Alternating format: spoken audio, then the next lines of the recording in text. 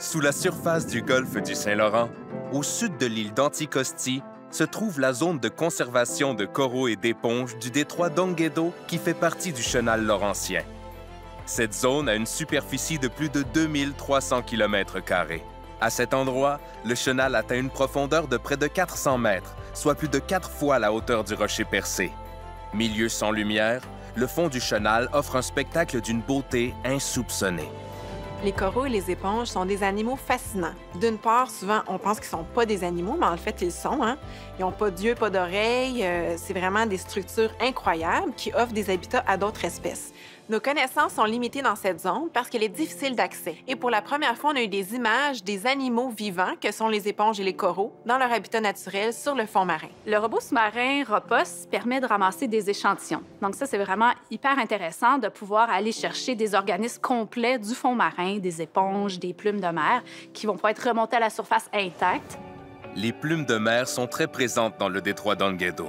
Elles surgissent du fond et s'installent de façon clairsemée. Dans les grandes profondeurs du chenal, elles trouvent les conditions idéales à leur croissance. Les plumes de mer, ça fait partie des coraux mous. Donc, c'est un ensemble de petits animaux qui sont tous associés un à l'autre pour former une colonie. Tous les coraux ont un rôle similaire dans l'environnement et dans l'écosystème. La plume de mer, entre autres, peut servir euh, d'abri pour certaines espèces et peut servir de garde-manger aussi parce qu'il y a plusieurs petits crustacés qui s'y abritent et ils ont également tout un rôle de création d'habitat pour d'autres espèces, puisque les plumes de mer peuvent mesurer entre 10 cm et même 50 et 60 cm de haut. La vie s'installe jusque sous le fond marin, d'où surgissent des animaux sortis de la nuit des temps. De toutes les créatures qui peuplent le fond du chenal laurentien, la mixine du Nord est l'une des plus mystérieuses. Elle s'enfouit dans la vase pour n'en sortir que pour chasser ses proies. C'est un animal qui a bien peu changé depuis son apparition il y a plus de 320 millions d'années.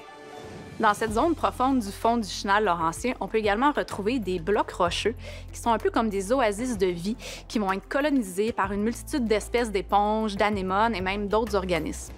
De nombreux visiteurs ont adopté ces eaux profondes, entre autres le requin marèche, la morue, le sébaste et certaines espèces de raies.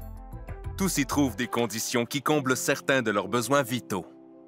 La zone de conservation du détroit d'Onguedo fait partie d'un ensemble de 11 zones sélectionnées par Pêche et Océan Canada pour favoriser la conservation de ces organismes fragiles et vulnérables que sont les coraux et les éponges.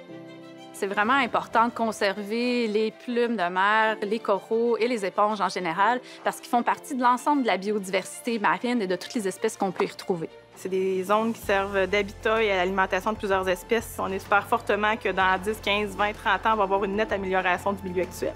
Il est essentiel de conjuguer nos efforts pour bien comprendre le rôle de ces espèces uniques et leur relation avec les autres organismes de leur écosystème.